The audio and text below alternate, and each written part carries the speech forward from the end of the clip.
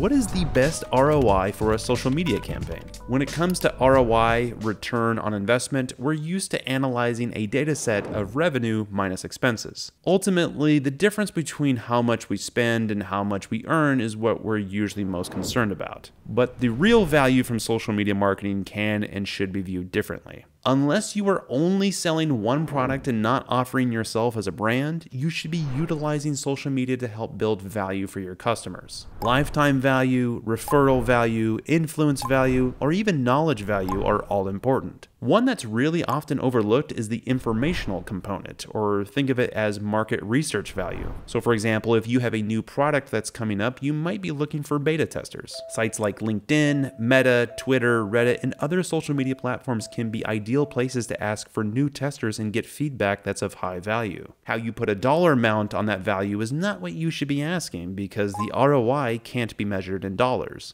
We do know from market research that some of the most consistently tracked metrics for social media marketing are followers gained and engagement increased. The reason is because these metrics have long term value, and that is potentially difficult to measure after just one temporary campaign. When we look at our social media, we are more focused on building top of mind recall and consistent brand awareness for our followers than what we are earning in revenue from them. So, what's the best ROI for your social media campaigns? We'd say that depends on what you value. But if you would like us to help you build your social media engagement, we do offer services that can help, so check us out at bruceclay.com today.